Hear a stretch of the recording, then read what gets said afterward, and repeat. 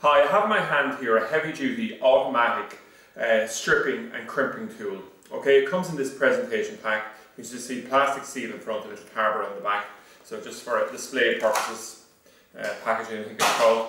So um, we just have a quick instruction manual here, but we're to the main event here, which is the tool itself. So I'm just going to rotate around and I'm just going to go through the three major actions on this. The first part here is that we have the actual stripping mechanism here. This top part here is used to hold the cable and strip it.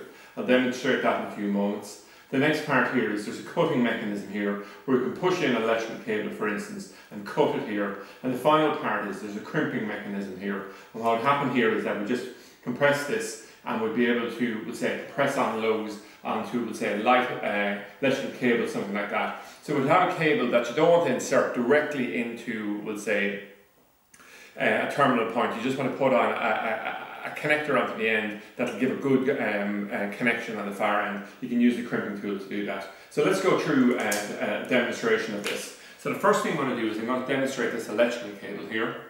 And what I'm going to do is I'm simply going to slide it through here. I go as far as the orange guide on the far side. And then I compress it here.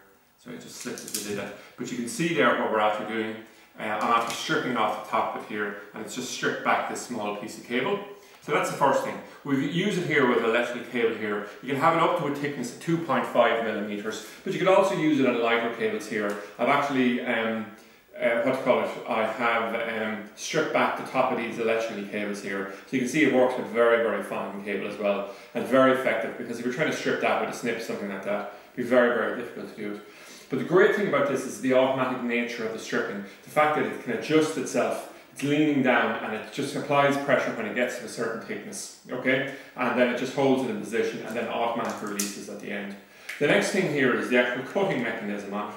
So what I'm going to do is I'm just going to rotate the tool to a 90 degree angle so you can see. So basically I'm just going to push this through here. It come, pops out the far side. And what I'm going to do here now is I just come along and I compress this and I just cut it off like that. So very effective then again, very strong uh, um, mechanism on it. Now the third part I can talk about a little bit, can't fully demonstrate because I don't actually have the lugs uh, which we put on the end of the cable to demonstrate this. But if we imagine the scenario where we're trying to compress on, we'll say, a connector, similar now, I'm going to just put hold the tool for a second and just I'm going to hold up this billboard beside it.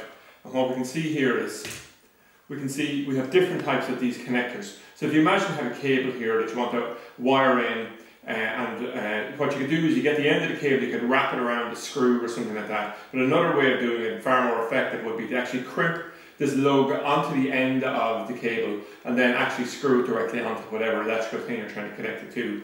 And you can see here, we have the larger ones are colour yellow, then we have blue, then we have red, uh, etc. along here. And if we come along then, with that in mind, and we look at the actual mechanism here, we'll see we actually have colour codes here. So we don't apply too much pressure, you know exactly where to put it. The red, the yellow, and also the blue as well. So it allows us to crimp it there. In terms of the ease and nature of using this tool, um, it's made from hardened steel on top here, so it's strong tool to perspective.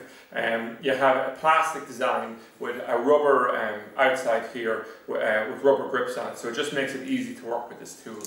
So um, it's very versatile and it's a good strong quality tool suitable for both DIY and also professional use. So that's it anyway, an overview of the heavy duty um, stripper and crimping tool.